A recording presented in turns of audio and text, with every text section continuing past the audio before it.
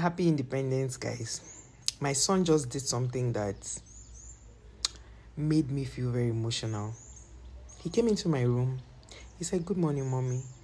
I said, How are you doing? Good morning. He said, Mommy, I'm fasting today. And I asked him why he's fasting. He didn't want to say. He just said nothing. I said, No, at least before you fast, you should be able to have a reason for fasting. Or Abi, are you fasting for my videos to go viral? Now sat down. Said, Mommy, I'm fasting for Nigeria to be better. Kai. He said, I am fasting for Nigeria to be better and for your videos to go viral. Hmm.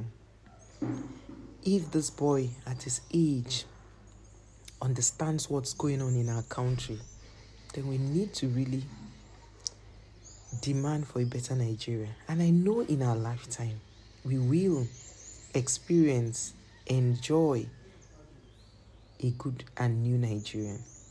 Nigerians are good people, very hardworking, but we are just always unfortunate with our leaders. We are always having the that's hey God. Out of the good leaders, they are not up to one percent. But we know that because we have all the natural resources, we have everything, very good people, very accommodating people, we will get it right with leadership in our lifetime. Nigeria will be great again. Keep praying for Nigeria. Our prayers is the reason Nigeria is still the way it is. And when we go out, let us be kind to one another. Let us love each other. Let us be there for each other.